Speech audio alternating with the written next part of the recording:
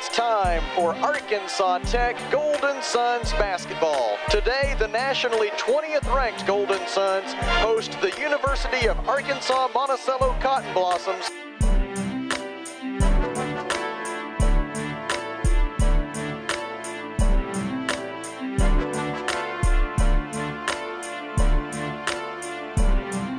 Pass for Fatima Adams. She banks it home and a foul.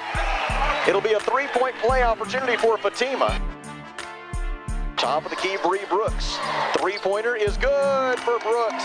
Eight first half points for Bree Brooks.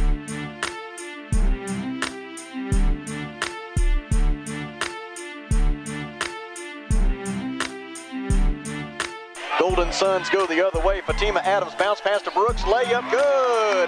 Bree Brooks with 10 first half points. Brooks ahead to Anissa Pounds. She finds Frazier. Layup is good and a foul. A three-point play opportunity for Danielle Frazier.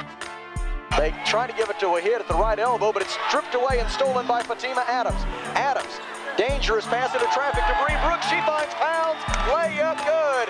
Bree Brooks with another assist, and the Golden Suns lead 44 to 19.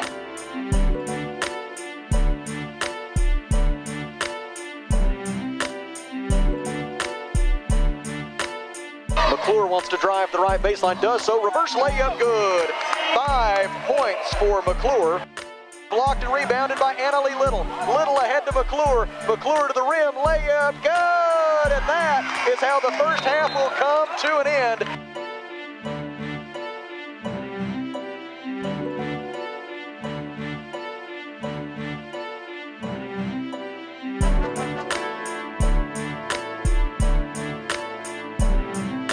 Annalie Little misses a 12-foot jumper. Offensive rebound by McClure. Putback is good.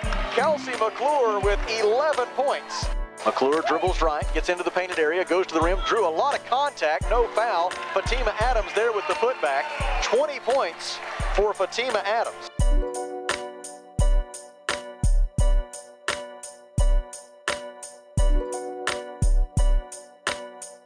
Hands it off to Savannah Kate Smith. Now McClure with it, and that will do it. The Arkansas Tech Golden Suns have completed the first half of the Great American Conference schedule without a loss, following a 90 to 60 win today over the Cotton Blossoms.